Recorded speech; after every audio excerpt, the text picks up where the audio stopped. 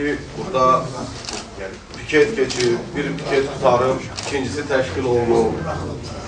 Və hesab edirik ki, e, bu piketləri yiyənlər evlərin qarşısında, parçaların qarşısında, bunu yiyən insanlar fikirləşirlər ki, əgər bu hərəkətlərlə hər hansı ictimai rəydə dəyişikliyə nail olacaqlar, hər hansı bununla bağlı öz məqsədlərinə çatacaqlar, çox yanılırlar. Məsələn, mənim planlarımda biraz dəyişiklik edib, qısa müddətli də olsa bugünkü ictimai palatanın iclasına qatılmağımın səbəbi həmən bu piketlərdir. Yəni, bu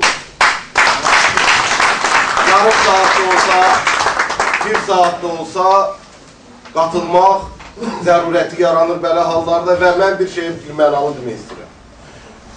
Kimlərin evinin qarşısında bu gün əxlaqsız, tərbiyəsiz, hər bir mənəviyyatdan uzaq formada işlər görürlərsə, onlar bilsinlər ki, bir mənalı olaraq belədir. Bunlar bununla Sovet dövründə Saxırovların, Sovet dövründə Sovet dissidentlərinin başına gələnləri insanların zehinlərində yada salırlar.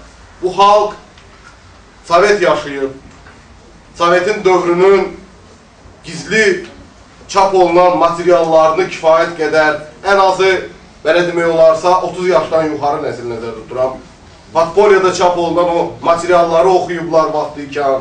Biz yaxşı bilirik ki, Sağırovların, biz yaxşı bilirik ki, bu kimi insanların digər insanlar ki, vaxtında insanların görmədiyi, işitmədiyi, ehtiyat elədiyi fikirləri deyərkən onlara təzyiq üçün nələr edilir? Biz hamımız bunu yaxşı xatırlayırıq. Bu şeylər bu insanlara qarşı ki, bugün bunu edirlər, ya ictimai palataya qarşı ki, bunu eləyirlər, nəinki öz məqsədlərində bu ilə çatmırlar, əksinə insanlarda çox dəqiq həmin o asosiasiyalarının, həmin o müəyyən mənada sönmüş asosiasiyalarının hatırlanmasına getirib çıxardır və mən bir daha əminliklə bildirmək istəyirəm ki, bu məsələlərdə, bu mövzularda bir mənalı olaraq bu xalqın xeyrinə işləyir, ictimai palatanın xeyrinə işləyir və sadəcə olaraq, sadəcə olaraq bir mənalı olaraq bu məsələlərdə diqqətli olmaq lazımdır ki, bunların bu rəftarının, bu səviyyəsiz hərəkətinin müqabilində o səviyyəyə enməmə və inşallah da Allahın köməkliyi ilə onun boş-boşuna olmasının, mənasız olmasının nəticəsini özləri də görəcəklər. İkinci məsələ ki, mən bu gün istərdim, bu gün İctimai Palatanın tribunasından da bölüşəm, çox önəmli görürəm o mövzunu da.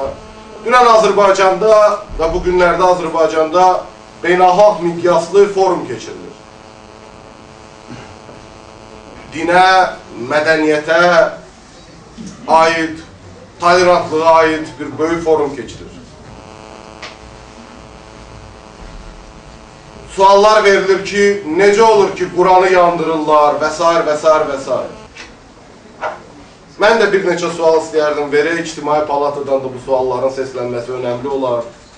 Necə olur ki, Quranın buyuruşlarına son illərdə bu qədər ehtiramsızlıq olunur? Necə olur ki, azan qadağı olunur? Necə olur ki, meçidlər sökülür? Necə olur ki, 5 aydır bu ölkənin inancılı insanlarının balaları dərsə gedə bilmir?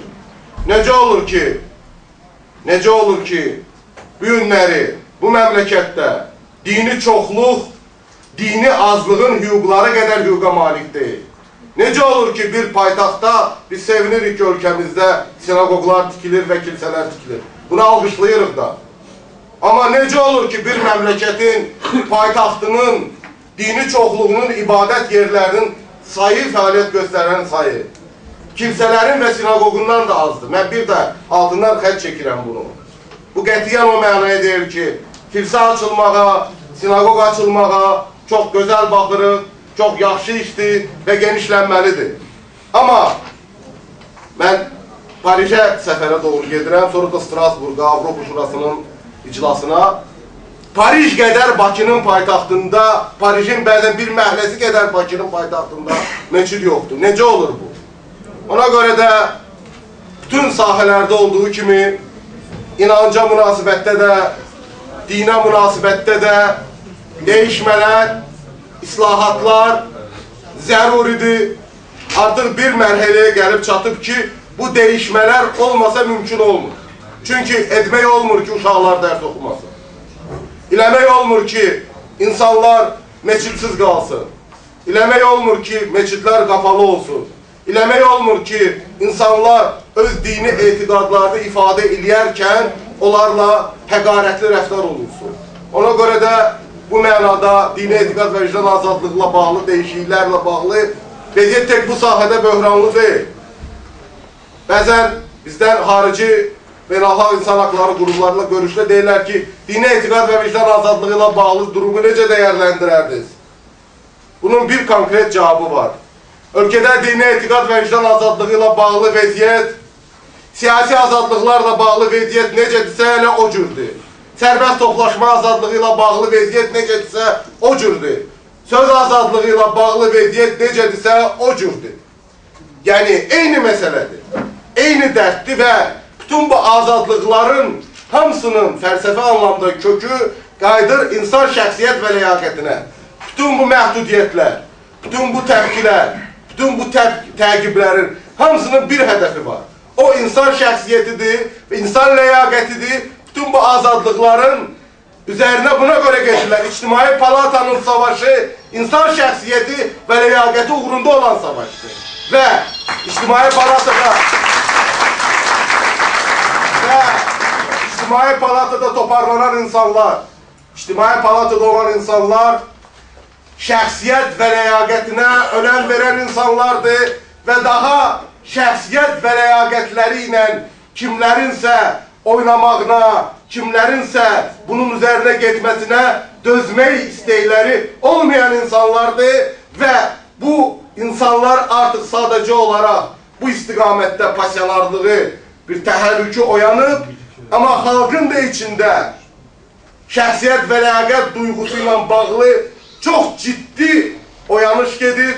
Ona görə də bu islahatların, bu dəyişikliklərin bütün sahələrdə, istəyir dini etiqadla bağlı, istəyir sərbəst azadlıqla bağlı, istəyir sərbəst toplaşma azadlığı ilə bağlı, istəyir seçkilərlə bağlı ki, İctimai Palatanın da əmələ gəlməsinin elə fəlsəfəsindən biri budur. Bütün bunların təmini bir mənalı olaraq tarihi bir zərurətdir. Bunlar baş verəcək sadəcə olaraq müəyyən müddətin, zamanın vaxtıdır və mən bir daha istəyirəm bir məsələni də xatırlayam. Biz yeni etmə idik. Halk hərəkatı başlayan vaxtı burada hamı deyir ki, biz elədik, biz çevirdik və s. Biz nə çevirmədik, nə də etmədik. Biz bir yeni etmə kimi məktəbli idik. 17-16 yaşımızda, 15 yaşımızda eləyə bildiyimiz oydu ki, mitinglərə gedirdik. Bizim e, bu mənada qatqımız bu olmuşdu və sadəcə olaraq tarihin iştirakçısı kimi bir məsələ ilə bölüşmək istəyirəm. O nədir? 20 yanvardan sonra hamı düşünürdü ki, məsələ qutarır, məsələ bitib və bu 91-də də belə idi. Sonra qısa müddətdə elə hadisələr olur ki, hər kəs anladı ki, artıq dəyişmələrin olması zəruridir, dəyişmələrin olması labuddur, sadəcə olaraq onun formasına bağlıdır. Necə olacaq, necə olacaq? Bizim yadımıza gəlir ki, üç rəngli bayraq haqqında nə boyda böyük bir həsrətlə, böyük bir həyəcanla əvvəl danışılırdı. Sonra elə bir zərurət yarandı ki, onu ümumiyyətlə müzakirə mövzusu qəbul etməyən insanlar özləri birinci olaraq bunu qəbul edirlər. Ona görə də mən bir daha buna qayıtmaq istəyirəm ki, bu məsələlərdə, bu mövzularda bir mənalı olaraq, bir mənalı olaraq dəyişikliklər olacaq. Çünki insan şəxsiyyət və ləyaqəti ilə bağlı məsələdir. Bu bir iqtisadi, bir keyf əhval, bir bu kimi məsələlər deyil. Məsələ daha dərindir. İnsanlar şəxsiyyət və ləyaqət məsələsini ortalığa qoymaq istəyirlər. İstədikləri kimi özünü ifadə eləmək istəyirlər. Və bu mənada biz bütün əziz dostlarımız kimi bu mövzuda ictimai palatada iştiraki, xalqın bütün dəyərli insanların iştirakını zəruri görürük. Və eyni zamanda onu da vurğulamaq istəyirəm ki, e, bütün bu görülən işlərin alt yapısı da belə deyir ki, edilmir. Kaynar Şurasında, ümumiyyətlə də iclaslarda da, filanda da hər zaman fikirləşilib ki, təkliflər, islahatlarla bağlı nə edək mövzusu da olub və sonuncu iclasda düşün səhv eləmirəmsə artıq bir qərar da oldu ki, iki dəfə toparlanaq, bir dəfə etirazlarla bağlı, bir dəfə konseptual qərarlarla bağlı. Yəni bəzən bu təəssürat yaranmasın ki, Koordinasiya Şurası ancaq bir məsələlərlə məşğuldur. Xeyr, İctimai Palatanın dərin, köklü bu dəyişikliklərin zəminini yaradan düşüncələri və bu məsələlərdən eğitmenlər məsələləri var və sonda da bir daha hər birimizdən də ricam budur ki, yəni bu məsələlərdə ən əsas budur ki, nə qədər emosionallıq bizi qabağa aparırsa, rasionallıq mütləq və mütləq olmalıdır. Bu mübarizənin bünövrəsi rasional məsələlər əzarfındadır. Şəxsiyyət və ləyaqət məsələsidir mövzu. Şəxsiyyət və ləyaqət mövzusudur məsələ.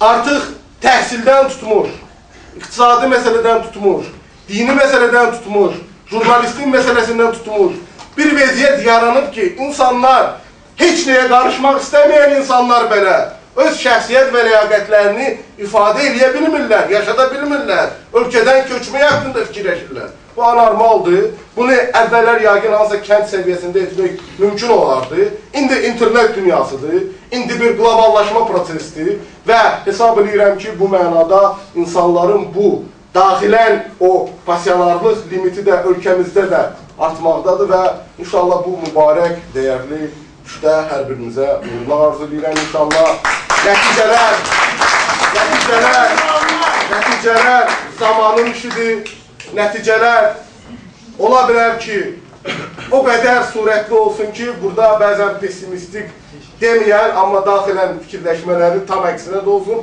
Bunu bir dəfə xalqımız yaşayıb, İnşallah da biz növbəti dəfədə bunu hamımız birgə yaşayacağıq. Allah'a emanet.